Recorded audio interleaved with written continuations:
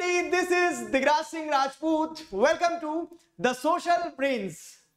स्वागत है आप सभी का बेसिक्स ऑफ़ ज्योग्राफी के लेक्चर नंबर टू में जहाँ पर हम लोग बात करने वाले हैं ओशियंस एंड कॉन्टिनेंट्स की समुद्र की और महाद्वीपों की क्या है कहानी वो समझो पिछले वीडियो में जो हमारा लेक्चर नंबर वन था जिसमें मैंने आपको क्या बताया basics of geography origin of earth theories solar system इन सारी चीज़ों के बारे में अब देखो पॉइंट है ना, मैं ये आपको अलग अलग पार्ट्स में देते चल रहा हूँ। शुरुआत में ये शायद हो सकता है चार पाँच लेक्चर आपको ऐसे मिले बेसिक्स ऑफ़ ज्योग्राफी करके।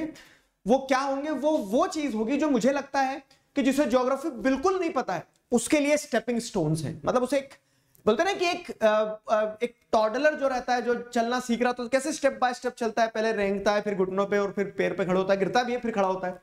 तो वो प्रोसेस है। तो हमने पिछले लेक्चर में क्या पढ़ा था? पिछले लेक्चर में हमने ये देखा था कि अर्थ कैसे ओरिजिनेट हुआ अलग अलग थ्योरीज क्या दी गई है। ओरिजिनेट हो गया अर्थ अर्थ ओरिजिनेट हुआ। अर्थ ओरिजिनेट होने से पहले भी जाके हमने देखा कि पूरा का पूरा सोलार सिस्टम पूरा यूनिवर्स कैसे ओरिजिनेट हुआ। वो यूनिवर्स का ओरिजिन देखा।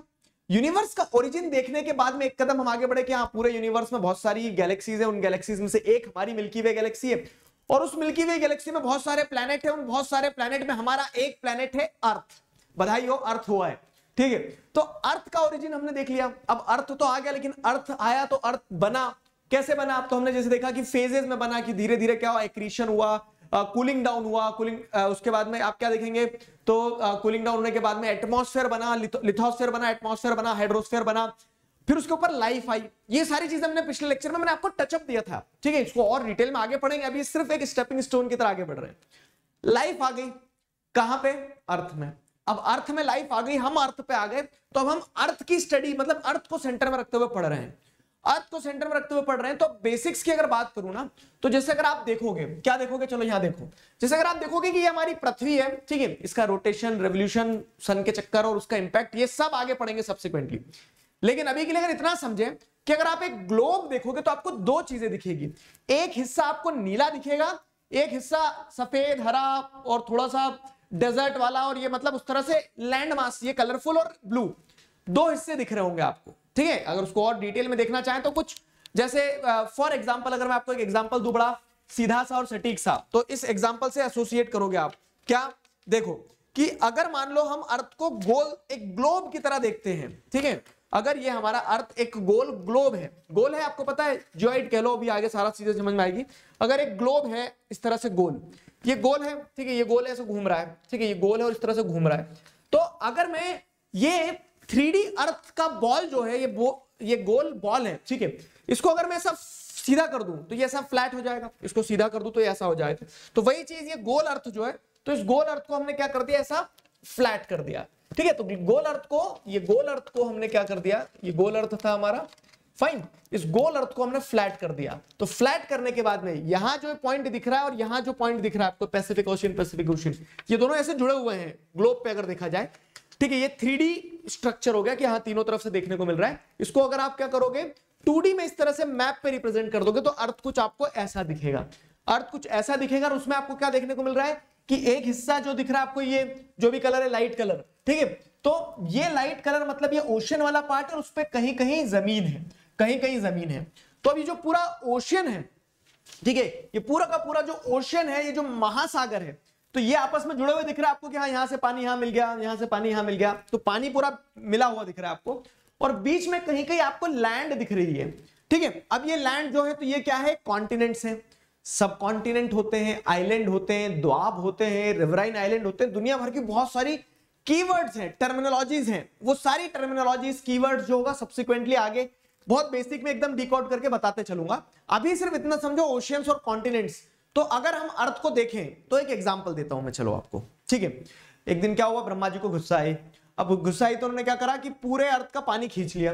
अब पूरे अर्थ का अगर पानी खींच लिया होगा तो कैसा दिखेगा अर्थ देखो, ये जो पार्ट उठा हुआ आपको दिख रहा है ये जो पार्ट आपको अर्थ पे उठा हुआ दिख रहा है, ये पार्ट उठा हुआ दिख रहा है। ठीक है, ये पार्ट उठा हुआ दिख रहा है। ये आज के कॉन्टिनेंट है। लेकिन अगर पानी खींच लोगे तो पानी के नीचे भी तो कहीं ज़मीन होगी। पानी के नीचे भी तो कहीं ज़मीन होगी। तो पानी के नीचे कहीं ज़मीन होगी तो वो वाले पार्ट पे पानी भर गया है। ठीक है तो वो क्या होता है? पानी भर गया उस पार्ट पे तो वो ओशियन की तरह दिखता है। एग्ज़ाम्पल से एसोसिएट करो। बारिश। बारिश के दिनों में क्या होता है? बारिश के दिनों में जैसे रोड है तो रोड के ऊपर जब बारिश होती है तो समतल ज़मीन पे से पानी बह जाता है, लेकिन जहाँ गड्ढा रहता है, ठीक है, अगर ऐसा सीधा रोड है तो सीधे रोड पे पानी बह जाएगा लेकिन अगर कहीं पे इस तरह से एक गड्ढा है ठीक है तो वो गड्ढा गड्ढे में क्या होगा इतना पानी भरा रहेगा और फिर आपको वो फ्लैट दिखेगा। तो यहाँ रोड दिखेगा यहाँ रोड दिखेगा लेकिन यहाँ पे आपको पानी दिखेगा। और वो पानी क्यों दिख रहा है? क्योंकि वो डिप्रेशन जो बना गड्ढा बना है तो इस गड्ढे के नीचे भी यहाँ ये आपको क्या देखने को मिल रहा है? यहाँ पे भी लैंड है। लेकिन जितना डिप्रेशन था जितना आ, कह सकते हैं कि स्पेस था उतने में पानी फिल हो गया ठीक है? तो उसी तरह से क्या है कि अर्थ भी जो है तो अर्थ भी ओवरऑल क्या है एक सॉलिड बॉल है एक सॉलिड बॉल है लेकिन वो बॉल पे क्या है आपको जहाँ डिप्रेशन होंगे। एग्ज़ाम्पल एक और। अब ये चेहरा है। इस चेहरे पे जैसे अगर आप देखोगे तो ये भी क्या है सॉलिड है। सॉलिड है लेकिन जहाँ डिप्रेशन हो गया अगर पानी डाला जाए तो ये जो डिप्रेशन है आग के गड्ढे जो होंगे इनके अंदर पानी फिल हो जाएगा। इनके अंदर पानी फिल हो जाएगा। नाक आपको एक आइलैंड की तरह दिखेगी लेकिन बा, बाकी चीज़ें पानी में डूबी हुई रहेगी। ठीक है? तो उस तरह से क्या होता है कि जो थोड़ा एलिवेटेड पार्ट है वो कॉन्टिनेंट के फॉर्म में दिखता है और जो डिप्रेशन वाला पार्ट है, जो गड्ढे की तरह है, उसमें पानी भर जाता है और तो पानी भर जाने के कारण वो कैसा दिखता है? पानी भर जाने के कारण वो ओशियन की तरह दिखता है। सिंपल ठीक है कंफ्यूज मत होना। कुछ बच्चे सोचते होंगे ओशियन पता नहीं कितने गहरे होंगे, जाएँगे तो नीचे जाते चले जाएँगे। नहीं। बाबू, वहाँ नीचे, उसमें भी क्या है? उसमें भी नीचे, जैसे अगर आप देखोगे तो ज़मीन तो आएगी ना। ज़मीन तो उसमें भी नीचे आना है। फिर वही बात करोगे, अगर आप अर्थ से मतलब कॉन्टिनेंट से तो कॉन्टिनेंट क्या है कि वो भी ज़मीन का हिस्सा बस वो थोड़ा एलिवेटेड है उठा हुआ है। और इस कारण क्या होता है? इस कारण वो हमें कॉन्टिनेंट की तरह दिखता है। अब कनेक्ट करो। एक बचपन से एक मिथ सुनते आए होंगे क्या? कि ग्लोबल वार्मिंग होगी तो जो ग्लेशियर्स है वो पिघल जाएँगे ग्लेशियर्स पिघल जाएँगे तो हम डूब जाएँगे। कुछ बच्चे कनेक्ट नहीं कर पाते कैसे डूब जाएँगे? तो ऐसे डूबेंगे। क्या होगा कि अगर ग्लेशियर्स मान लो यहाँ पे पहाड़ की तरह है और वो पिघलेंगे वो पिघलेंगे तो पानी बन के आएँगे और पानी बन के आएँगे तो क्या करेंगे कि और जो लो लो, लो लाइन एरियाज़ है समुद्र का स्तर बढ़ेगा पानी का। तो जो मान लो जैसे सबसे लास्ट में क्या डूबेगा? हिमालय, क्योंकि वो सबसे ऊँचे है। लेकिन जो हिमालय से छोटी जगह रहेगी तो अगर अर्थ पे पानी बढ़ेगा तो वो डूबती चले जाएँगी। तो वो डूबती चले जाएँगी। ठीक है? तो इस तरह से क्या होगा कि ग्लेशियर्स अगर मेल्ट होंगे तो वो समुद्र में पानी बढ़ाएँगे और जो कोस्टल एरियाज़ है आइलैंड्स है, वो डूबते चले जाएँगे। ये कहानी होती है। खैर, मैं बहुत दूर दूर तक ले गया आपको। पॉइंट इतना था क्या कि अर्थ पे एक पार्ट जो एलिवेटेड है, वो लैंड के फॉर्म में दिख रहा है, और एक पार्ट जो एलिवेटेड नहीं है, उसमें पानी भर गया है। तो पानी भर गया तो वो ओशियंस बन गए। ठीक है? महासागर और महाद्वीप। ठीक है? ओशियंस एंड कॉन्टिनेंट्स अब आ जाओ। क्या? देखो कुछ कुछ बेसिक चीज़ें हैं कि आपको पता होना चाहिए कितने ओशियन है कौन सा ओशियन कहाँ है और कितने कॉन्टिनेंट्स हैं कौन से कॉन्टिनेंट्स कहाँ हैं और कौन सा बड़ा है, छोटा है, ये सारी चीज़ें। और यही बेसिक्स है जो इस वीडियो में मैं आपको बताने वाला हूँ। क्यों? क्योंकि जब आपको ये एक रिलेटिव पोजिशनिंग समझ में आ जाएगी एक रिलेटिव पोजिशनिंग समझ में आ जाएगी तो उससे आगे की चीज़ें कनेक्ट करना और आसान हो जाएगी। जैसे नेक्स्ट वीडियो में हम लैटिट्यूड लॉन्गिट्यूड यही सारी चीज़ें पढ़ेंगे, इनको बहुत अच्छे से। ठीक है? तो अभी आप क्या समझ लो बेसिक्स कौन कौन से ओशियन से कौन कौन से कॉन्टिनेंट है वो देखो। तो हम पहले कॉन्टिनेंट से शुरू करते हैं। कॉन्टिनेंट मतलब क्या होता है? महाद्वीप होते हैं, जो बड़े बड़े कॉन्टिनेंट जो लैंडमास है। तो बड़े बड़े कॉन्टिनेंट्स बड़े बड़े लैंडमार्क को अगर देखें ना तो एक ये बहुत बड़ा लैंडमार्क दिख रहा है आपको, जिसको नॉर्थ अमेरिका कहा जाता है, एक साउथ अमेरिका दिख रहा है आपको। एक ग्रीन कलर में पूरा का पूरा एशिया दिख रहा है आपको, एक रेड कलर में पूरा का पूरा अफ्रीका दिख रहा है, एक येलो कलर में यूरोप दिख रहा है, और एक यहाँ पे ऑस्ट्रेलिया के नाम का कॉन्टिनेंट दिख रहा होगा। ध्यान रखना, ये क्या है? ग्लोब है। ग्लोब है इन द सेंस कि इस तरह से गोल है। ठीक है? किस तरह से गोल है? तो ये अगर आप देखोगे तो इस तरह से गोल है पूरा का पूरा। पर पर पॉइंट क्या हो रहा है कि हमने उसको 2D रिप्रेजेंट करने के लिए ऐसा स्ट्रेट फॉरवर्ड कर दिया है। ठीक है? तो यहाँ पे वो आपको इस तरह से पिक्टोरिकल रिप्रेजेंटेशन दिख रहा हो, बाकी ये गोल है। अगर इंडिया यहाँ है तो इंडिया के गोलाई में पीछे की तरफ़ नॉर्थ अमेरिका है। ठीक है? और ये यहाँ पैसिफिक ओशन और ये पैसिफिक ओशन जुड़ा हुआ है। ठीक है? तो आप ये मत सोचना कि ये वाला पॉइंट और ये वाला पॉइंट दुनिया का सबसे दूर का पॉइंट होगा। ये वाला पॉइंट और ये वाला पॉइंट दुनिया का सबसे पास का पॉइंट हो जाएगा। क्यों? क्योंकि यही नॉर्थ अमेरिका के बाजू में क्या है? नॉर्थ अमेरिका के बाजू में जैसे आप देखोगे तो ये जापान वगैरह ये सब आ गया। ठीक है? चलो कमिंग बैक टू दिस तो सात कॉन्टिनेंट है। एक, दो, तीन, चार, पाँच छ सातवा कहाँ है? तो सातवां नीचे अगर आओगे आप तो आपको यहाँ नीचे सातवां एक अंटार्कटिक अंटार्कटिक कॉन्टिनेंट देखने को मिलेगा, जो कि पूरा बर्फ़ में ढका है। अगेन गलती मत करना, ऊपर बर्फ़ है, नीचे तो उसमें भी क्या है? ज़मीन है, ठीक है? तो बर्फ़ की लेयर्स के नीचे अगर खोदोगे तो ज़मीन ही मिलेगी। ठीक है? अनटैप्ड कॉन्टिनेंट पॉपुलेशन वाइज देखोगे तो सबसे बड़ा कॉन्टिनेंट कौन सा है? पॉपुलेशन वाइज एशिया है। इसी में चाइना है, इसी में इंडिया इसी में पाकिस्तान है। ये तीन देश नहीं दुनिया की आधी पॉपुलेशन बिठा के रखी, आधी से ज़्यादा। ठीक है? तो पॉपुलेशन वाइज सबसे बड़ा कॉन्टिनेंट एशिया है। और इसीलिए एशिया में बहुत स्ट्रगल है। समझ में आ रहा है? इसीलिए लोग भाग भाग के अमेरिका जाते हैं। तो खैर जोक सपाट अगर हम जैसे देखें तो पॉपुलेशन वाइज सबसे बड़ा कॉन्टिनेंट अगर एशिया है तो पॉपुलेशन वाइज सबसे छोटा कॉन्टिनेंट मतलब पॉपुलेशन वाइज सबसे छोटा कॉन्टिनेंट यानी कि जहाँ लोग रह नहीं रहे। गिनती के कुछ सौ पचास लोग रहते होंगे, वो भी रिसर्चर्स हैं, वो अंटार्कटिका में रहते हैं। ठीक है पॉपुलेशन वाइज सबसे छोटा एरिया वाइज तो बहुत बड़ा है, लेकिन पॉपुलेशन वाइज सबसे छोटा है। ठीक है, अब आते हैं हम किस चीज़ पे? अब आते हैं हम एरिया वाइज एरिया वाइज आपको क्लियरली देखने को मिल रहा होगा क्या? कि एशिया एशिया मान ही नहीं रहा है पॉपुलेशन में भी सबसे बड़ा एरिया में भी सबसे बड़ा। तो फ़र्स्ट नंबर पे एशिया है। सेकंड नंबर पे एशिया से ही जुड़ा हुआ ये अफ्रीका है। थर्ड नंबर पे आप देखोगे तो नॉर्थ अमेरिका है। ठीक है फोर्थ नंबर पे है तो साउथ अमेरिका है। फिफ्थ नंबर पे जो कॉन्टिनेंट आता है वो आता है अंटार्कटिका सिक्स नंबर पे जो कॉन्टिनेंट आता है वो आता है यूरोप और सेवेंथ नंबर पे जो लास्ट कॉन्टिनेंट आता है वो आता है ऑस्ट्रेलिया ठीक है तो साइज़ के टर्म्स में अगर बात की जाए तो देखो एशिया सबसे बड़ा, फिर उसके बाद में अफ्रीका और ये मतलब ये ऐसे कॉन्टिनेंट पॉपुलेशन वाइज भी जैसे देखोगे एशिया सबसे बड़ा कॉन्टिनेंट है पॉपुलेशन वाइज भी एशिया हर चीज़ में आगे बढ़ रहा है पॉपुलेशन में भी एरिया में भी। ठीक है तो Asia Africa North America South America फिर उसके बाद में जाएगा अंटार्कटिका अंटार्कटिका के बाद में यूरोप एरिया वाइज यूरोप बड़ा है ऑस्ट्रेलिया से।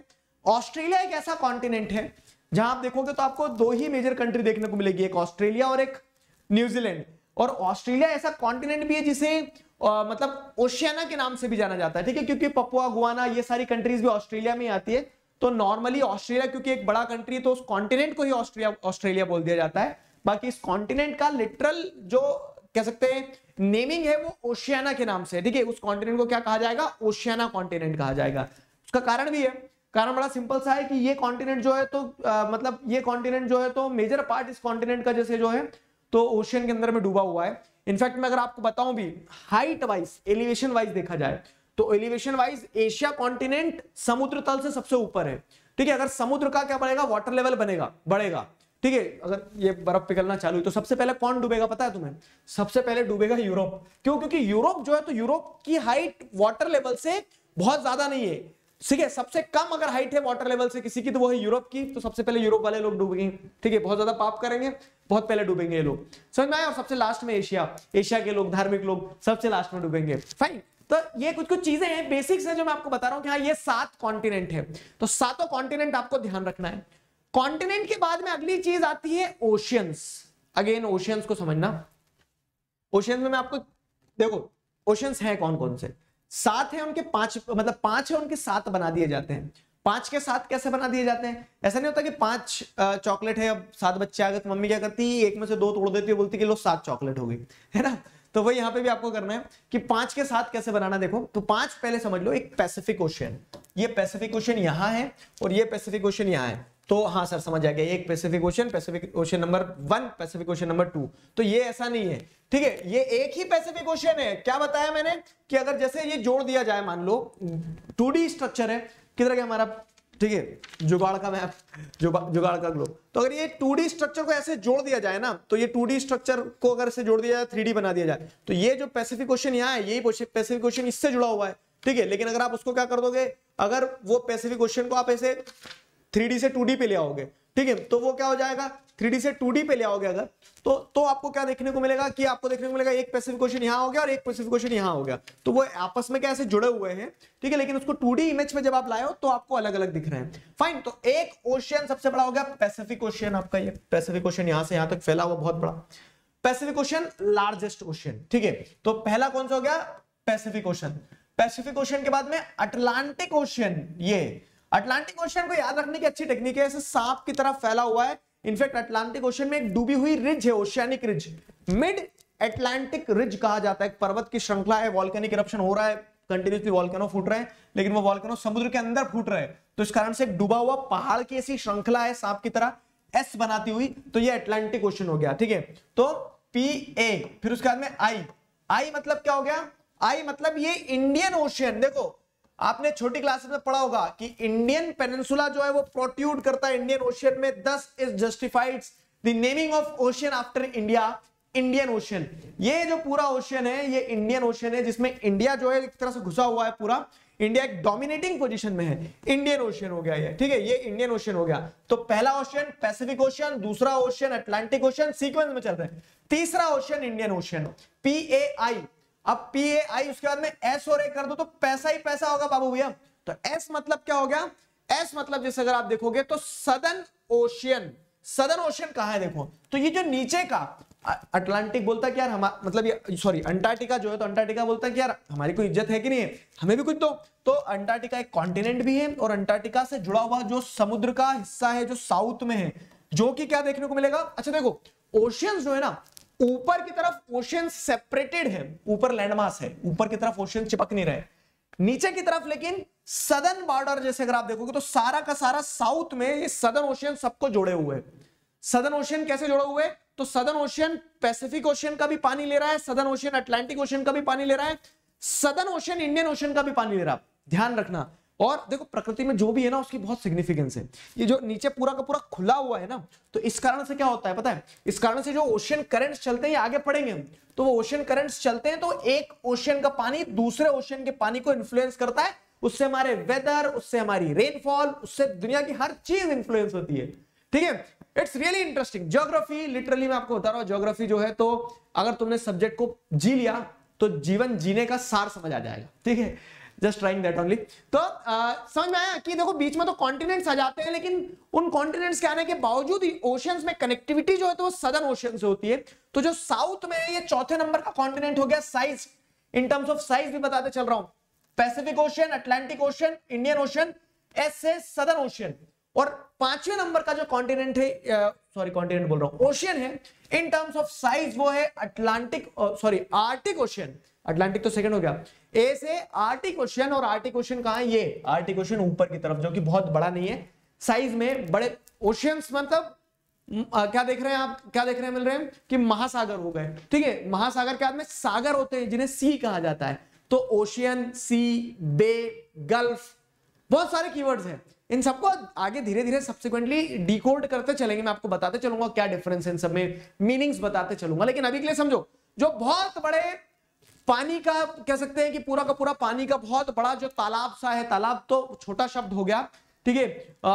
उसकी बाउंड्री डिफाइन करने के लिए तालाब बहुत छोटा शब्द हो गया। तो जो कह सकते हैं largest water bodies on the earth है, उन्हें क्या कहा जाएगा? ओशियंस महद क्या सागर कहा जाएगा? महासागर। तो पाँच महासागर है Pacific Ocean Atlantic Ocean Indian Ocean Southern Ocean और आर्टिक ओशियन जो कि ऊपर की तरफ़ नॉर्थ पोल में है, वो आर्टिक ओशियन हो गया।